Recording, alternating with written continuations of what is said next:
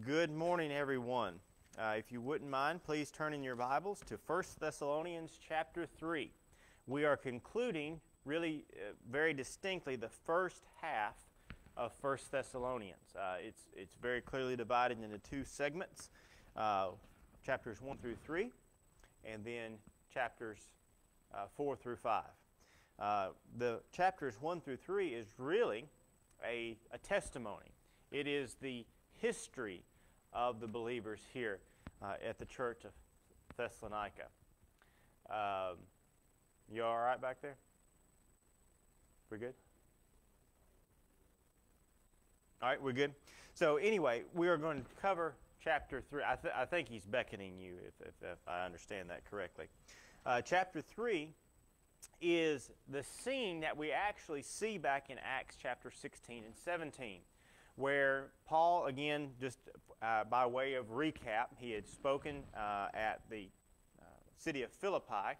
He was thrown in prison. At about midnight, Paul and Silas were singing praises to the Lord. Of course, we know what happened there. The Philippian jailer hears these things and many others, and the Philippian jailer is saved. They are released. They go to the next city, which is Thessalonica.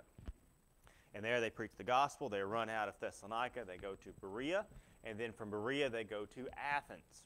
And here we pick up, and that's really what we're picking up here in chapter 3, and we'll read just the 13 verses of chapter 3 together. And that's where we pick up. Paul is here in Athens, as we'll read here in verse 1. So beginning there, it says, Therefore, when we could endure it no longer, we thought it best to be left behind at Athens alone.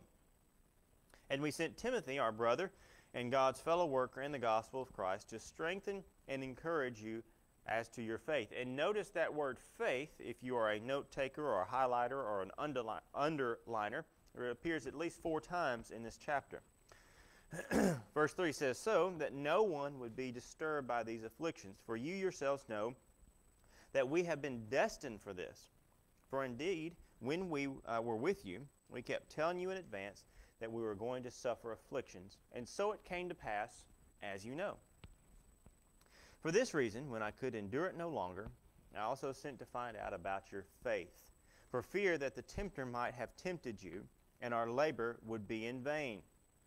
But now that Timothy has come to us from you, and has brought us good news of your faith and love, and that you always think kindly of us, longing to see us, just as we also long to see you. For this reason, brethren, in all our distresses, or distress and affliction, we were comforted about you through your faith. For now we really live if you stand firm in the Lord. For what thanks can we render to God for you in return for all the joy with which we rejoice before our God on your account? As we night and day keep praying most earnestly that we may see your face and may complete what is lacking in your faith. And notice I said faith. I, I did hear one person reading this chapter and said, so that we may complete what is lacking in your face, which is a holdover subject. Verse 11 Now may our God and Father Himself and Jesus our Lord direct our way to you, and may the Lord cause you increase to increase and abound in love for one another and for all people, just as we also do for you, so that He may establish your hearts without blame in holiness before our God and Father at the coming of our Lord Jesus with all his saints. Our Father, we would ask that you might bless these words. And we pray that you would help us to receive them.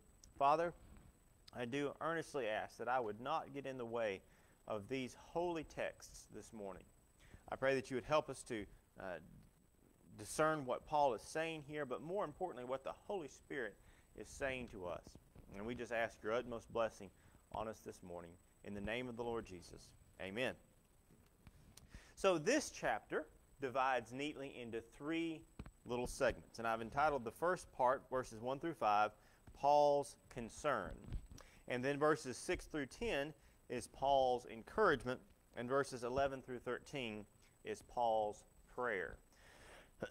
so beginning there in verse 1, as we've mentioned, after they had been run out of uh, Thessalonica and Berea, they have come to Athens. And, and by the way, while you, if you turn back to Acts 17, don't do it this morning, but if you turn back and read that portion, you will remember that just like someone waiting for their flight it says Paul was walking about this city full of idols. And it says that's where he encountered the, the folks at Mars Hill. And he was able to bring a tremendous sermon of the gospel there while in a city full of idols. But the reason that he was there and the reason he was alone was because he was waiting for Timothy to come back, having sent him. And so it says that he had great conflict. He says, when we could endure it no longer. And you know, I, I thought about entitling this message, What to Do When You Can't Do Anything.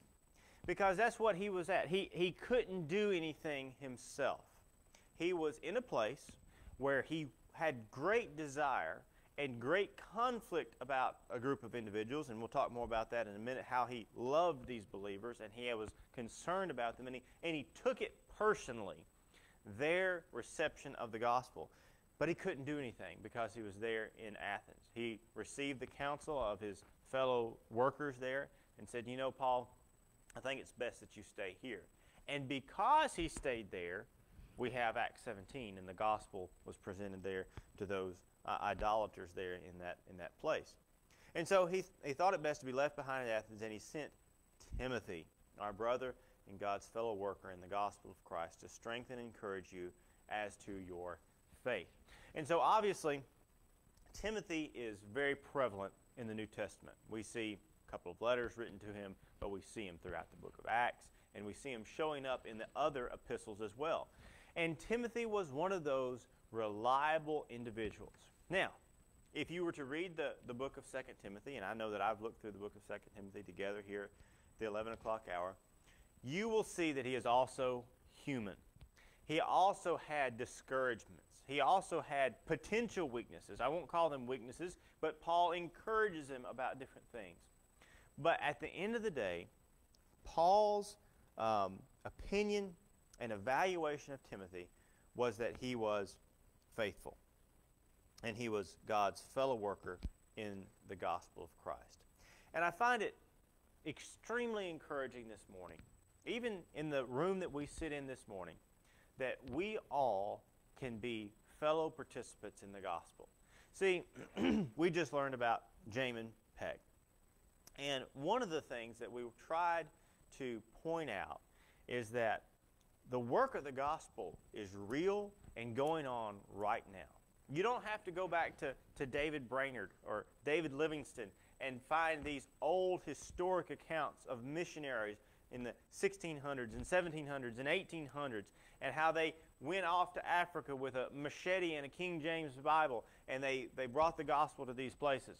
But the, the gospel is real and the gospel is working as we speak. And not only that, but that each one of us has a part in that.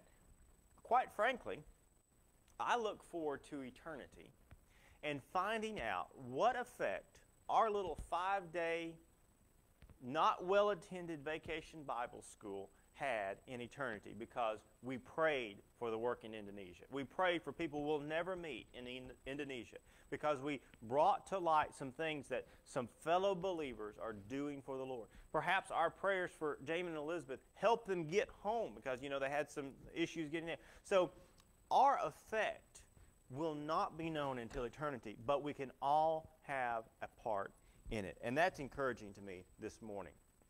He says, encourage you as to your faith. And again, I, I said four. I actually meant five. I have it underlined five times in here uh, in my Bible here. Verse uh, 2, verse 5, verse 6, uh, verse uh, 10, excuse me, verse 7 and verse 10.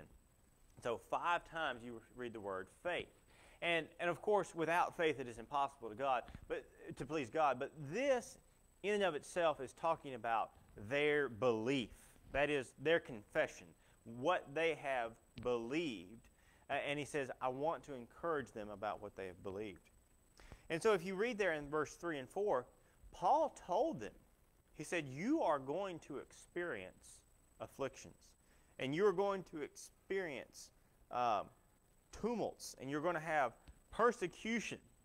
And he says, We told you this beforehand so that it wouldn't take you by surprise.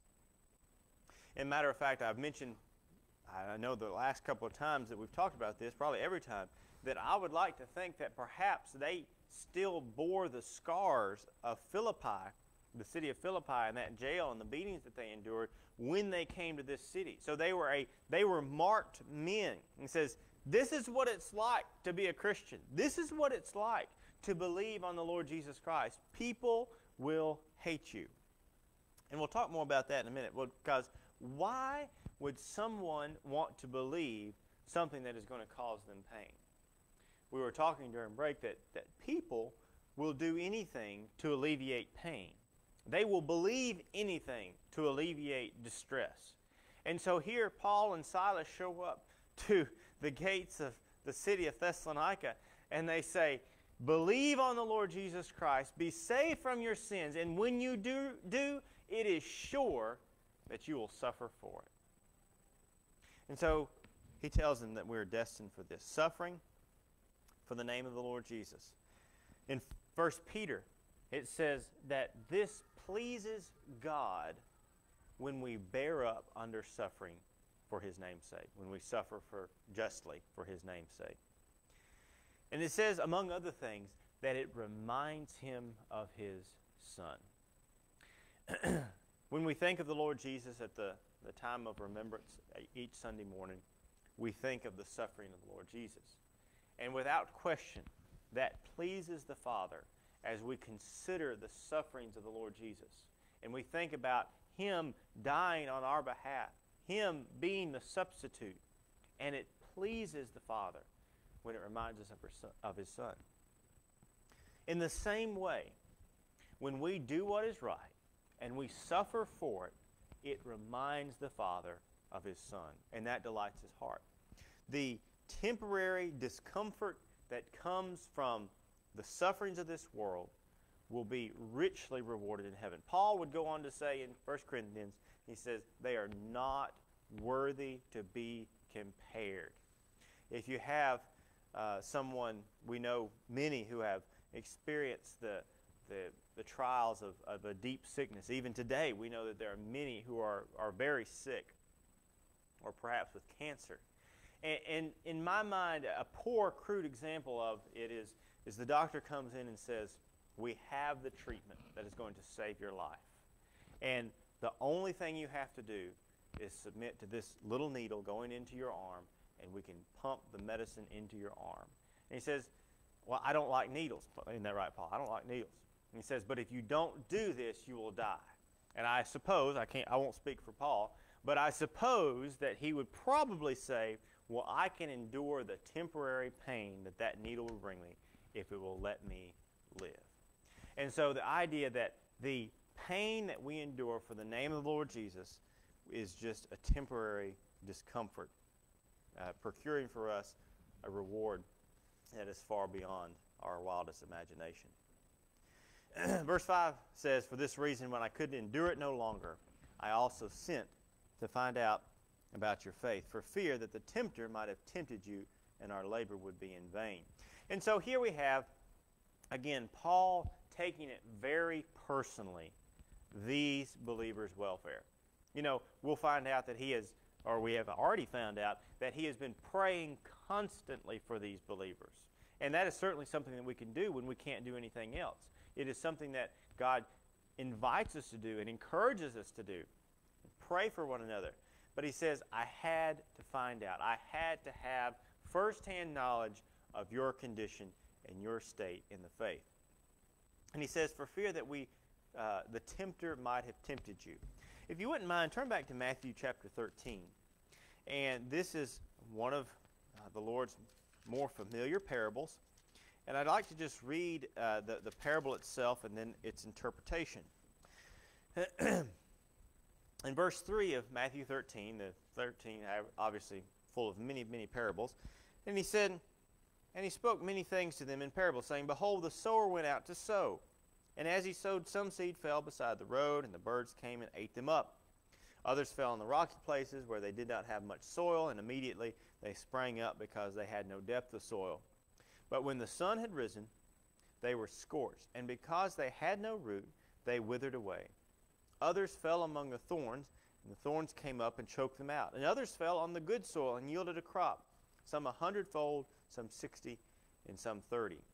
He who has ears, let him hear. And then if you skip down to verse 18, the disciples ask what, quite frankly, I probably would have asked as well. And he uh, explains it to them. He says, Hear then the parable of the sower. When anyone hears the word of the kingdom and does not understand it, the evil one comes and snatches away what he has been what has been sown in his heart.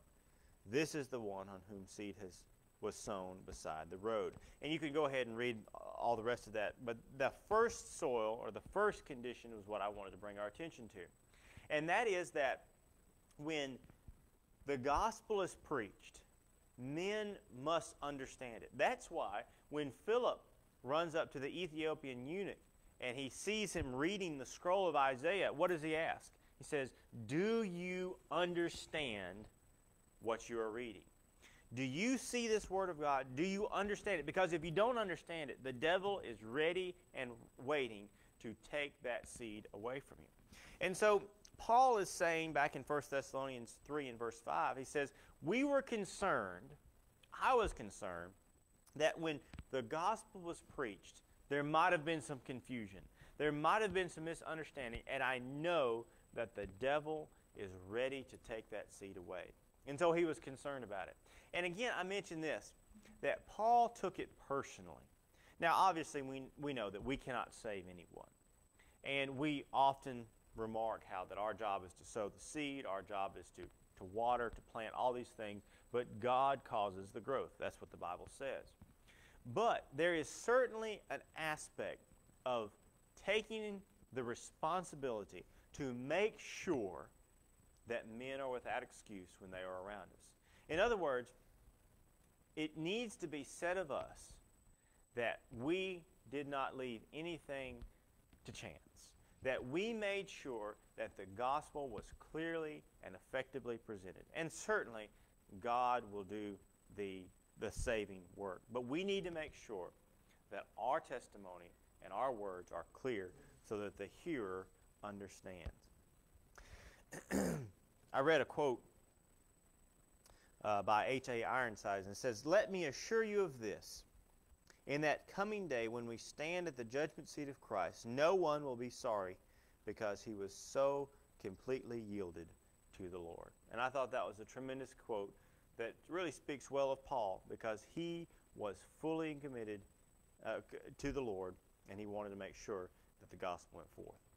So that was Paul's concern. And then verses 6 through 10, moving along, it says that this is Paul's encouragement. But now that Timothy has come to us from you and has brought us good news of your faith and love, and, and don't miss this, and that you always think kindly of us, longing to see us just as we also long to see you.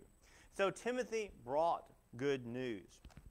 It's Proverbs 25 and verse 25 that says, Like cold water to a weary soul, so is good news from a distant land. And so Timothy brings back this word in this report, and I don't think it's insignificant that he, the, almost the first thing that he says is that they think kindly of us. Now, we give each other a hard time around here, I know. And sometimes we get involved with projects that aren't that savory, like moving a 600 pound filing cabinet downstairs that aren't made to move filing cabinets downstairs. And something that we'll say is, you know, man, I wish you hadn't got me involved with this because this was this was a pain. This this this was difficult. But for these believers who are suffering for the name of God, because Paul and spoke, Paul, Paul and Silas came and spoke to them, their thoughts and their attitude toward Paul and Silas was one of kindness. They were grateful that Paul had brought the gospel to them. They weren't embittered. They weren't embittered that, you know, man, we had it made with all these idols. We didn't get beat up because we believed in these idols, but this Paul comes in and he starts preaching about Jesus. And man, I mean, people hate us, they beat us up, they throw us out. I mean, we're outcasts now because we believed in this. But you know what? We're grateful that someone cared enough about us to tell us about eternity ahead, to tell us that there is a heaven and a hell, to tell us that there is a Savior who died on the cross and rose again so that we might have life. And so their thoughts towards Paul were good. And, and if I'm Paul and I read that, I'm rejoicing because they, they get it. They get that the suffering of this present time is nothing to be compared to the glory to re- be received later. Faith and love, again, is mentioned here uh, for the, at least the second time in this book, and how that these things are uh, linked together. And we'll talk more about love in just a second there at the end of the end of the book. But again, their faith, that is their trust in God, and their love, that is their love for each other and for the for the Lord, were linked together such that they were still bearing a good testimony. Verse 7 says that Paul was comforted. He was comforted when he heard about these things. Uh, that same Proverbs 25 25 is applicable. And look at verse 8. For now we live if you stand firm in the Lord. I believe that it was, uh, it was indeed the story of Joseph, as we call it. In one of the times that uh, the brothers came to Joseph, they did not know he was Joseph at that time. And it says that um, Joseph, obviously, he was wanting them to bring back Benjamin as, as surety to prove that, prove that they weren't spies. And one of the brothers said, We can't bring the boy back. He says, Because the life of our father is bound up in the life of the boy. Of course, applicable to the Lord Jesus uh, and the Father, God the Father. But also here, notice that Paul's life, that is, what gave him the ability to move about, breathe, and function, was bound up with these believers. He took it personally, and he wanted these believers to stand firm in the calling of God. And he says, what can we, what can we render to God? What thanks can we render uh, to, to God for you in return for all the joy with which we rejoice before our God on your account? In other words, there is no thing on this earth that compares with the joy and the fulfillment of knowing that someone has believed God and that they are sealed for eternity. It kind of goes back to verse 19 of chapter 2. And he says, What is our crown of exaltation? And H.A. Ironsides goes into this, and actually, I, I, meant to bring the, the quote that he talks about this, but he agrees, and, and what I had suggested last time, that at the judgment seat of Christ, the Bema seat of Christ, as we call it, where just believers will be evaluated for their life on this earth, he says that he believes, H.A. Ironside, that everyone that we have influenced and particularly say, uh, brought to a saving knowledge of Jesus Christ will be around that judgment seat at that time.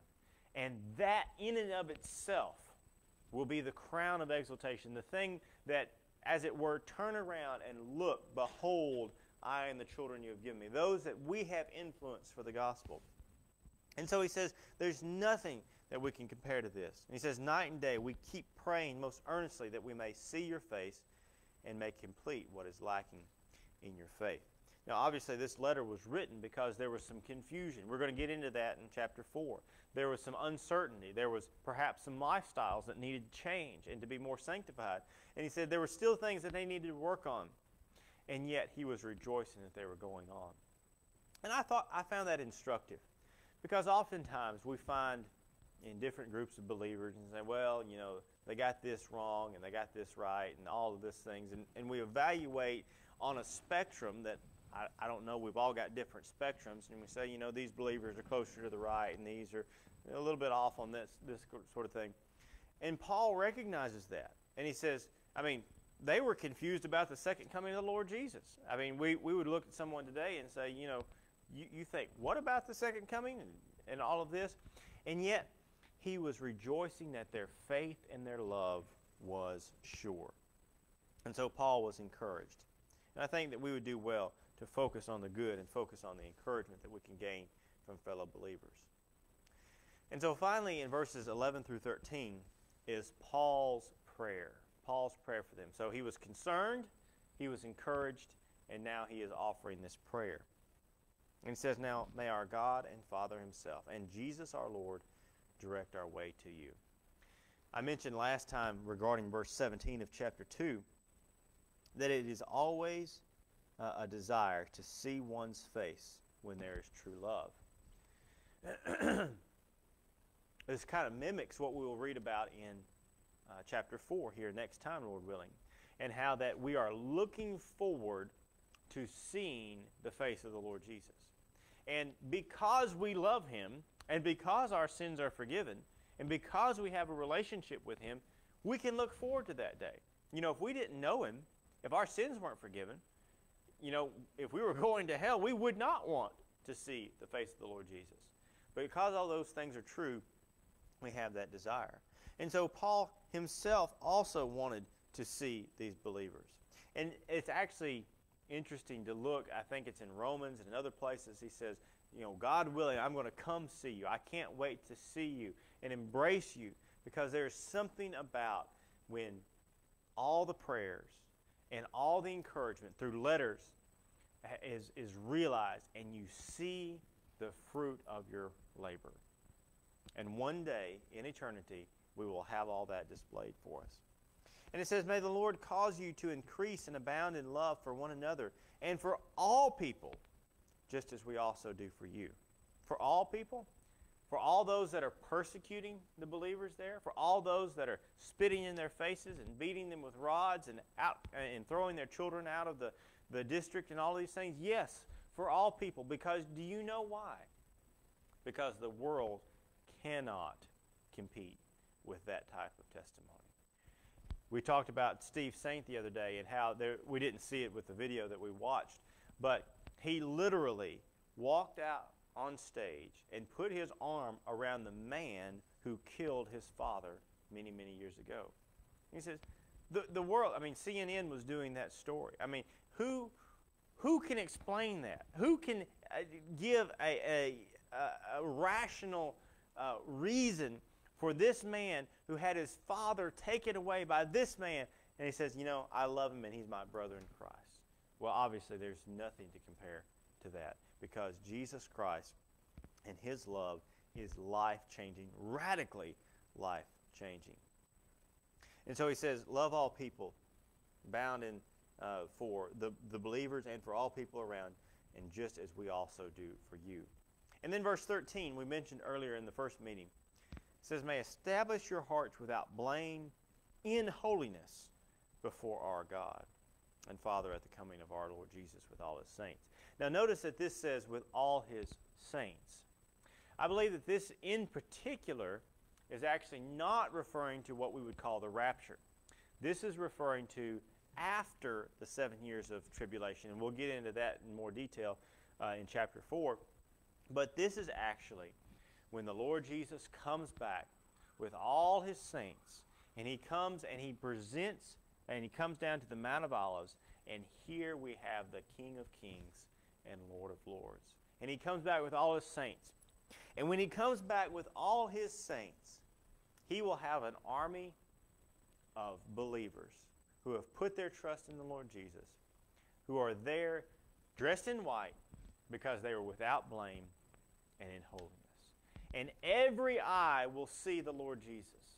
And we want him to be the attention when he will receive the glory that he finally deserves. But it's just like the Lord to share in that moment with his saints.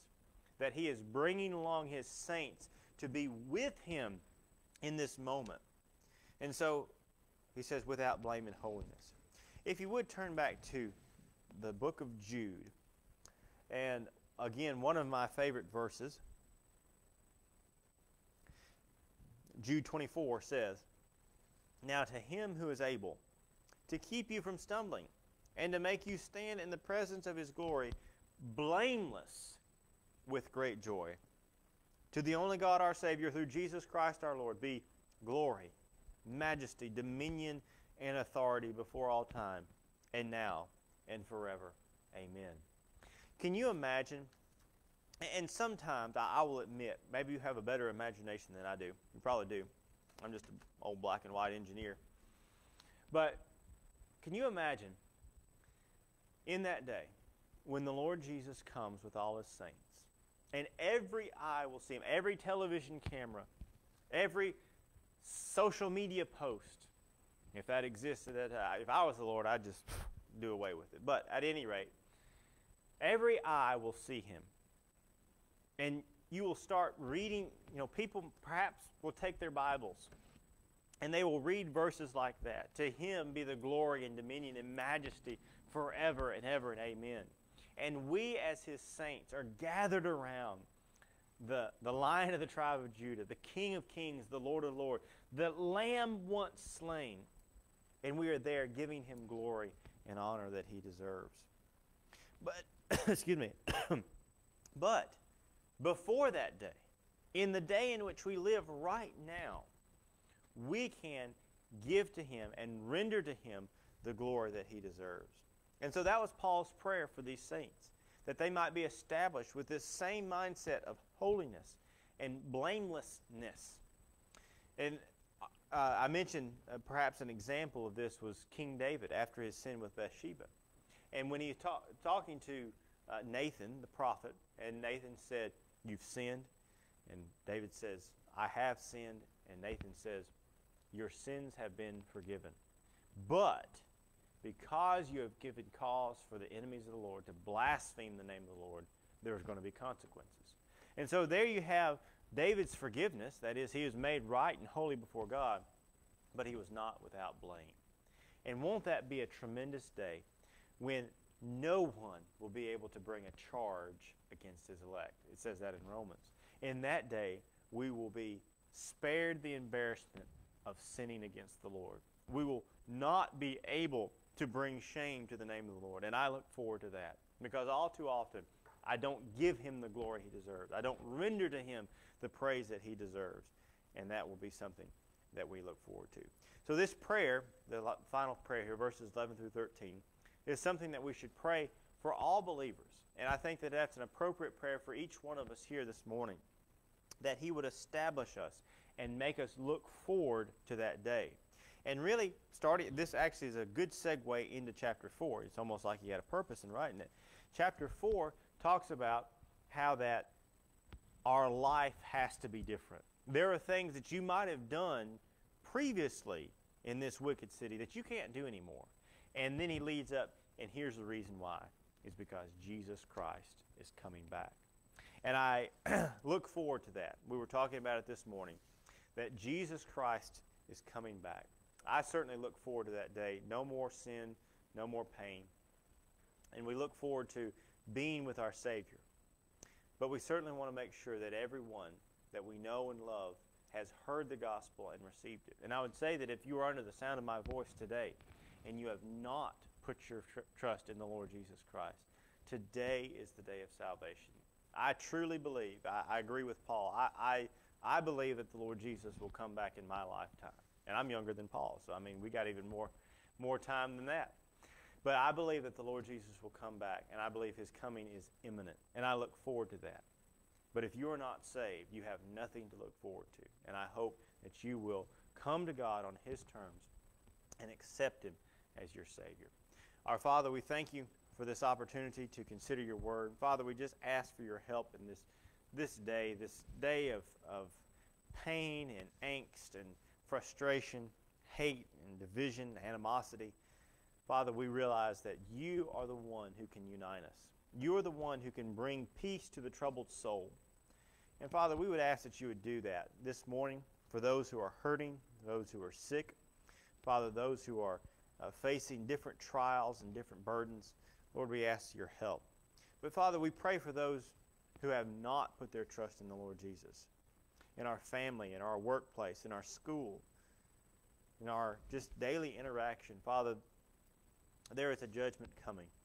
And we would pray, Father, that the gospel of Jesus Christ might go forward in strong uh, terms to those people, even today.